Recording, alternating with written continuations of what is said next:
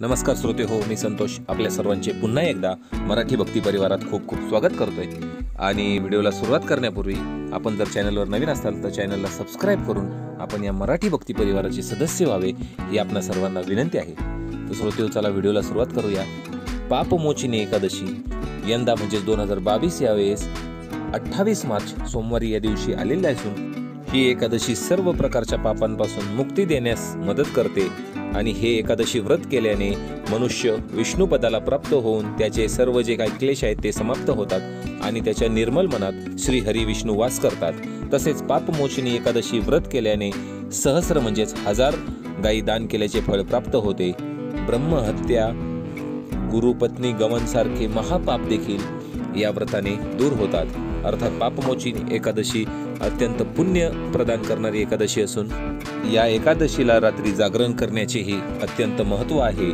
तसेच पद्मपुराणानुसार पापमोचिनी एकादशी केल्याने सर्व प्रकारची पापे नष्ट होतात आणि पौराणिक काळी या कथेनुसार चैत्र नामक सुंदर वनात जयंत ऋषीचे पुत्र मेघावी ऋषी तपस्येत मग्न होते आणि त्या वनात ते तपस्या करत होते तर एके दिवशी मंजू नावाची अप्सरा ऋषींवर मोहित झाली आणि त्यांना आकर्षित करू लागली.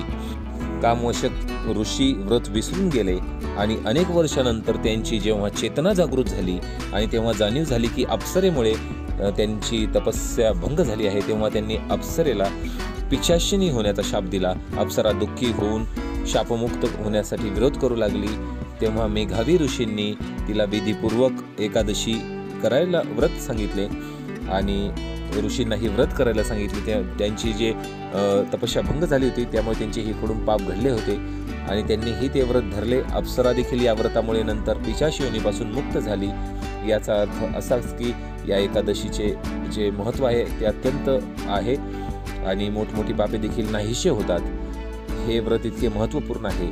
तसेच असेही म्हणतात की या व्रतात जे आहे की तांदूळ खाऊ नये आपण या दिवशी. अठ्ठावीस मार्च सोमवारी या दिवशी आपण तांदूळ वर्ज्य करायचे आहेत. वैज्ञानिक मान्यता जी आहे ती अशी आहे की तांदळामध्ये जलतत्वाचे प्रमाण अधिक असते. च पाण्यावर चंद्रमाचा प्रभाव अधिक पडत असतो. म्हणून भात खाल्ल्याने शरीरात पाण्याचे प्रमाण वाढते आणि मन विचलित होते मन चंचल होते आणि चंचल मन असल्याने व्रत पाळण्यासाठी अडथळे निर्माण होतात. कारण एकादशी व्रतामध्ये मनात पवित्रता असणे फार महत्त्वाचे आहे. म्हणून या दिवशी तांदळाने तयार केलेले पदार्थ देखील आपण अवश्य वर्ज करावेत.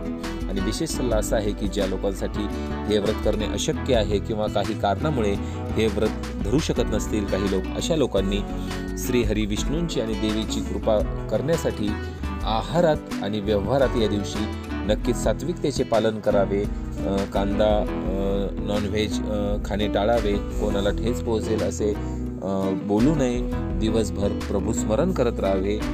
श्रोते हो मी तुम्हाला जी माहिती सांगितली आहे ही आपल्या नक्कीच फायद्याची ठरणार आहे आपल्या नक्कीच कामी येणार आहे यामध्ये काही शंका नाही.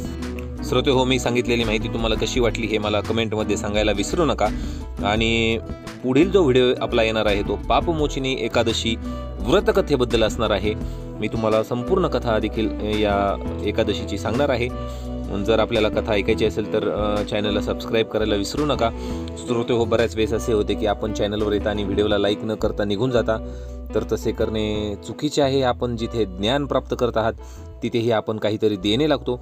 आणि आम्ही तुमच्याकडून फक्त एक लाईक मागतो. लक्षात ठेवा. भेटूया लवकरच पुढील व्हिडिओमध्ये